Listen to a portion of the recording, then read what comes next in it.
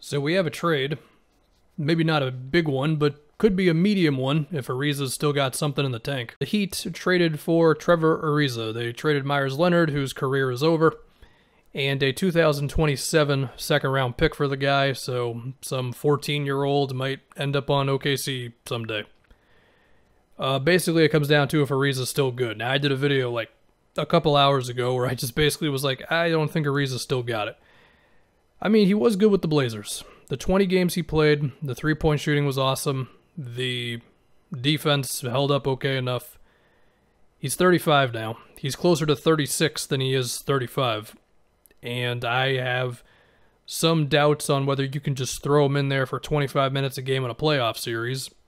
But Miami, for one, might not really need that. They might just need another guy to get him through this year uh, until the playoffs. Then maybe you can play him, I don't know, 10 minutes a game in the playoffs, and then a couple games he can pop off, that sort of thing. Uh, but it also gives them kind of a Jae Crowder esque dude again, which they, of course, benefited from greatly last year because Crowder could guard in the wing and he could also make threes, and you would hope Ariza can do the same thing. Again, it just comes down to does he really still got it? Now, I, I think an interesting thing is even though they did acquire that guy, I don't think we're gonna see Ariza given the same treatment as Crowder was in terms of like becoming the starting power forward and going with four perimeter guys around Bam. Like Olynyk has been playing next to Bam for most of this season, and Meyers Leonard did it a bit as well before you know that whole spiel happened. And I just want to see like how much is Miami gonna go into the Bam as the lone big guy thing that worked so well for them last season.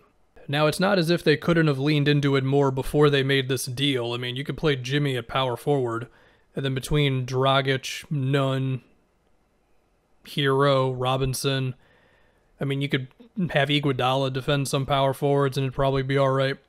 Of course, in the NBA nowadays, you could technically have the two guard on the power forward, and it's not even a big deal, but the point I'm getting at is I don't know if Trevor Ariza is going to be the thing that makes them go, all right, time to go back to what we were doing last year, but at least gives them another guy. And I mean, why not? If you could get off of Leonard and spend a pick that you don't care about for the chance of Trevor Ariza still being good, then why not do it? And if he is still good, and he can be a good defender and he can shoot, I don't know, 37% from three, then that's a hell of a luxury for Miami because then it's another guy that you have to actually care about out there. As Duncan Robinson and Tyler Herro are flying around, and as Bam is setting screens for Dragic, and as Jimmy is doing his ISOs and his pick and rolls and all that uh, good stuff. I don't know if Ariza is going to be in a whole lot of motion offense. I mean, maybe more than nothing because that's kind of Spoelstra's MO. But even so, he mainly just does that with like Dragic and Herro and especially Robinson a little bit with Kendrick Nunn, a little bit with Jimmy too, with some cuts to the basket. I don't know. Are we gonna see Ariza cutting to the rim when Bam is doing his stuff up top? It's possible. Now, if Ariza is still good and he can still defend, then maybe you could see him have some possessions on, let's say, Tobias if they meet in a playoff series. There's a decent chance the Celtics and the Heat will meet in round one, which terrifies me. And if that's the case, it's another guy that you could maybe see defending, uh, you know, Tatum or Jalen. It's not going to be the primary thing. I understand that, but in the flow of an NBA game, sometimes Ariza might get switched on to one of those guys, and well, if he's still going to be all right, then you like his chances on them more so than you would uh, like Kendrick Nunn or Herro. So again, why not if you're Miami?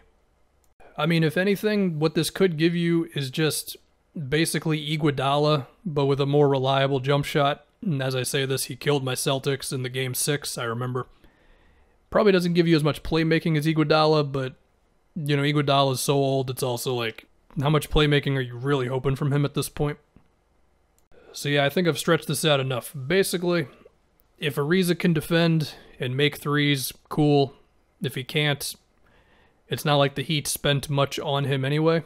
And if he is good, perhaps he would make Spoelstra feel a little bit better about moving away from two big guys and just one big guy with Bam because it worked so well for him last year. Anyway, uh, that's it.